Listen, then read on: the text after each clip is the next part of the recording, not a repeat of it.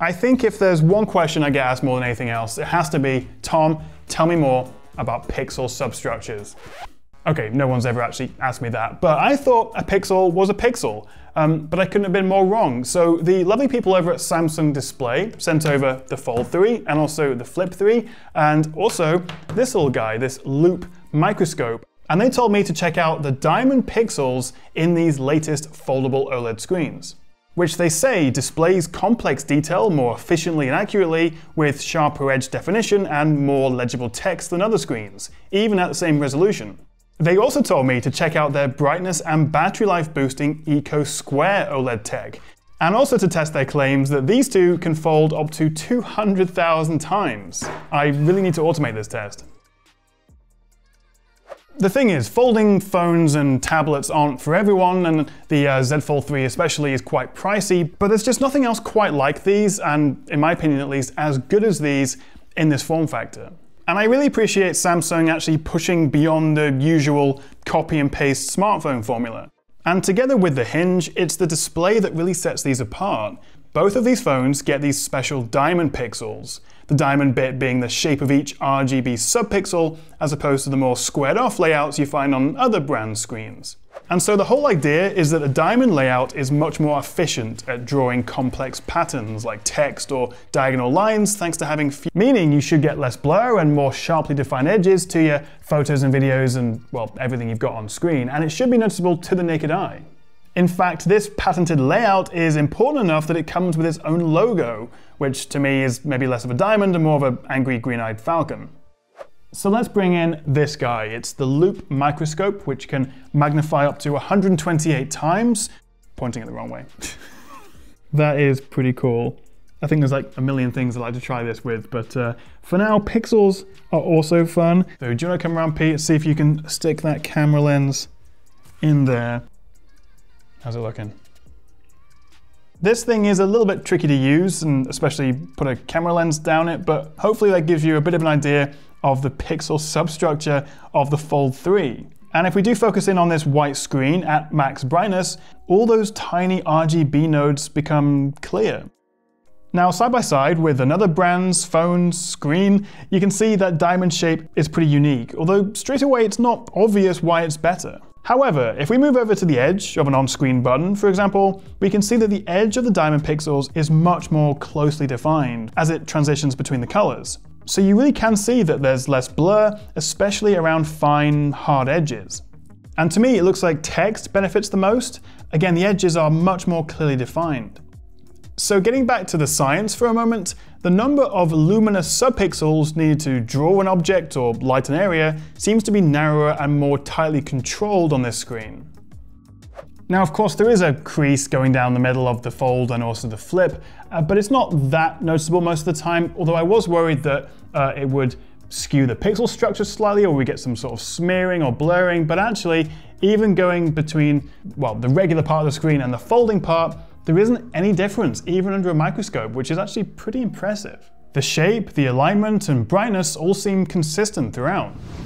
So obviously me trying to demonstrate this over a YouTube video and looking down a microscope isn't necessarily the best way of showing off this technology, but essentially this diamond pixel substructure is making the most of this resolution that you have. It's the most efficient use of the resolution, so you're getting the sharpest text and the clearest images without possibly having to uh, go up to a higher res and all the performance and battery impacts that has as well. Did you know that our eyes are actually more sensitive to the green wavelength than pretty much any other color, which is often why uh, with night vision you have those sort of green goggles and because we can see a bit better in the dark with green light. And actually another advantage of this diamond pixel substructure on these foldable OLED screens is that it's much better at balancing that green light that it emits, which helps the screen display the correct level for our eyes.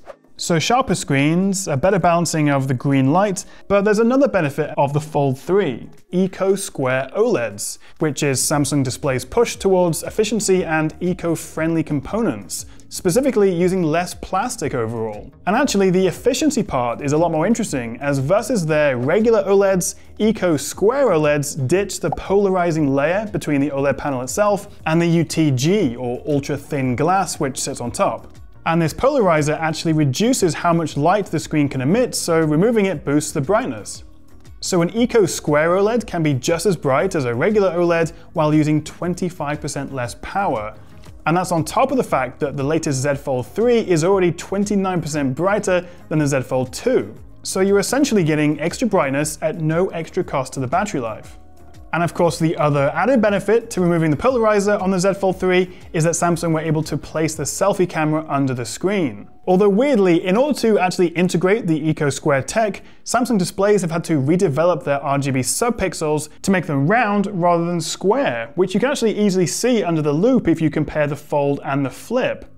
Now, I don't pretend to understand why, but it doesn't seem to make any difference to the overall result. So all that would be a bit pointless if the screen was brittle and it was going to break easily. But as Samsung say, they've tested this folding and unfolding mechanism 200,000 times, which I did the uh, calculations, works out to be 110 one of these every single day for five years. And of course the Fold 3 has that water resistance and also a more durable screen even over the Z Fold 2. For me, the screen is the most impressive part of the Z Fold 3 and the Z Flip 3. I get that the mechanism needs to be robust as well, but that's made of solid parts. But it's the screen that's a flexible sandwich of layers, including their ultra thin glass, that has to bend within this tight radius. It's genuinely impressive stuff. That's it. We're done. We did it, and congratulations, your elementary pixel substructure diploma is in the mail. But seriously, we don't usually spend this much time talking about the engineering and how all this actually works. So if you did enjoy the video and want to see more of these, then a cheeky little like and subscribe would be very much appreciated. And what do you think? Are you tempted to buy one of these, or maybe you already have one? Let me know what you make of the Z Flip 3 and the Fold 3 in the comments below. Thank you so much for watching, guys, and I'll see you next time right here on the Tech Chap. Your uh, diploma for elementary pixel diploma in elementary subpixel structures is on the mail to you.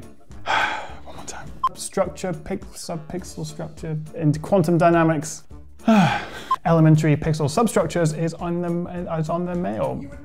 It's in the mail. I can't say it, Pete. I'm not saying it. We're moving on. That's the end.